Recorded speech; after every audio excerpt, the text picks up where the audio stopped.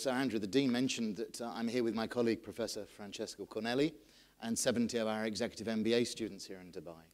And it's a, a study trip, and the theme of the trip is creating a modern city. As you look out on the world's tallest building that you were responsible for, and you've done the world's largest mall, as I drive around, I see everywhere uh, signs for your property company. You've actually done it. I wondered how that felt to you, not just as a patriot, not just professionally, but personally. Maybe because I'm from the Middle East.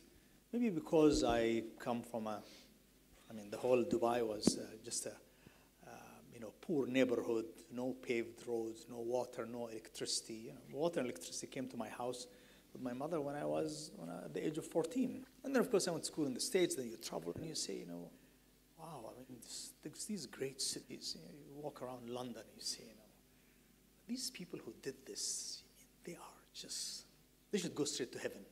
So personally, I'm really very influenced by creating environment that basically celebrate the respect for human life. So people can walk and say, you know, I belong. I'm respected. So when I, so this is really what, what motivated me to build. Of course, I've got my finance team who drag me in corridors, making sure the cost is under control, that the margin is correct. As you commented, Dubai's transformation has been phenomenal. What do you think were the key factors behind that transformation? I would say leadership, passion, brave, dreams, no corruption, non-stop, and urgency. Everything is urgency. Must be done now.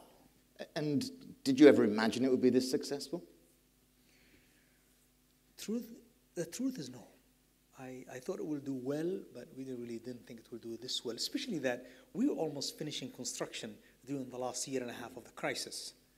So we had to continue construction during the crisis, open during the crisis 2010, and we lived tough 10, tough 11, 12, and beginning of 13 we start seeing the, the light. 2010, were there other moments as well? We are a young nation. Know, we are 44 years old. We have not seen many economic cycles. We have not seen growth and then crash. It was all new to us. We don't know how to cut costs. We don't know how to release people, but we had to. And I really hope that we don't forget the lesson because, you know, the environment globally is not that exciting these days. What lessons did you learn during the crisis?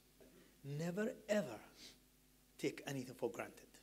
Managing your cost should be and must be the most important thing that you should do on your monthly evaluation and in your budget preparation. But you have had this phenomenal career. You're in minerals now, you're working in Africa. Uh, it's a range of different industries and a range of different sectors. How's your own leadership style evolved over that time, and, and what have you learned? It is so important that you invest so much time in getting absolutely the best people. And if you ask me now, and you tell me, how are you going to hire good people? I'll say, I'll give you a contract. And if you're really good, you write your contract. Because the value good people bring, no money can match it. But at the same time, if you write your contract and you don't deliver, It's a very short walk. Fair, right? Fair.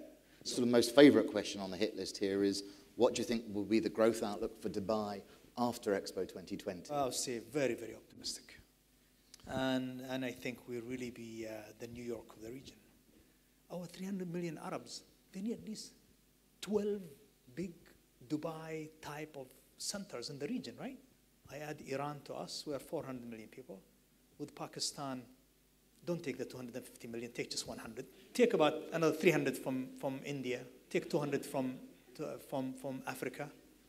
You, you're, you're 700 million people. We need 40 business hubs to serve these people. Right? Just, it's, it's math.